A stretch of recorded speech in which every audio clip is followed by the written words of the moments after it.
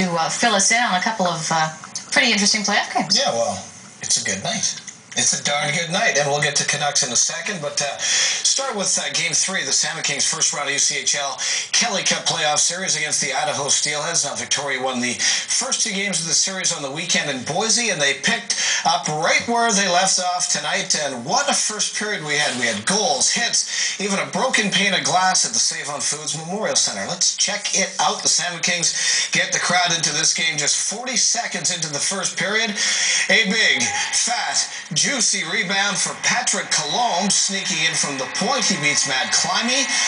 1 0 for the Salmon Kings, and the fans were digging that at the Save on Foods Memorial Center. They had the white flags going tonight, but the Steelheads would get that one back a few minutes later. It is a weak one.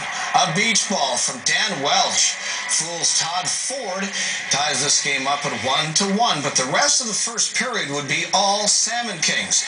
They get it going on the power play. Island boy Aaron Brocklehurst beats Climie. Two goals, both by defensemen, and a 2-1 Victoria lead. And speaking of Island boy, Sean O'Connor then gets sent in alone on the breakaway. The nifty move makes it a 3-1 game for Victoria. That would be it for Climie's night. And Rajon Boscheman comes in in the nets for the Steelheads. But different goalie, same result. Another Kings goal. Again, it's on the power play. This time it's Olivier Filion. His first of the postseason makes it 4-1 Victoria. And Stacy, the boys are not done yet with the first frame. Check out this great open ice hit from Sean O'Connor. Textbook. Then, with 44 seconds left in the first period, the boys add another. Olivier Lebel, his third in three playoff games, and it was 5-1 for the Salmon Kings. And then with 0.6 of a second left in the first period, the physical play, too much for the plexiglass. Check out that mess. You make it 5-1 Victoria after the first, more offense for the home team in the second. Power play goal, the Kings captain and leading scorer during the regular season, Wes, Wes Goldie, his first of the postseason, makes it 6-1. And then less than a minute later, another power play goal, this time it is Scott House. And how about them Salmon Kings? They were up 7-1.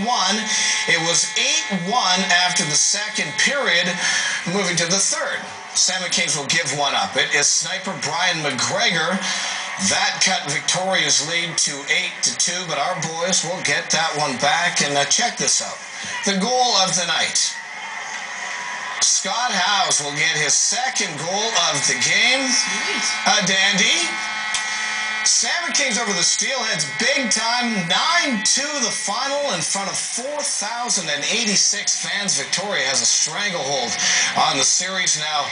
Uh, three games to none. Game four Friday night at the Save on Foods Memorial Center. The first period today was huge. Uh, I think that was the the key uh, the key for us today. Start uh, to have a, a, big start, strong start because uh, they uh, they started the game pretty hard too. But we uh, we we had a couple good bounce for you for us, so it helped it helped a little bit. But yeah, we had we start uh, really strong tonight uh, in front of our fans. Uh, no, I didn't expect that, uh, what we uh, had tonight, that's for sure. But uh, I don't really think it was a 9-2 hockey game. We seemed to bury all our chances. And, you know, I thought in the first period, uh, they uh, wasn't a 5-1 first period. They had some chances. I thought our defense played fairly well, but uh, they had us pinned in our end for a little while, and then five on three power play kind of changed the game around. We got the next two, and it wasn't much of a game after that. Alrighty, to the big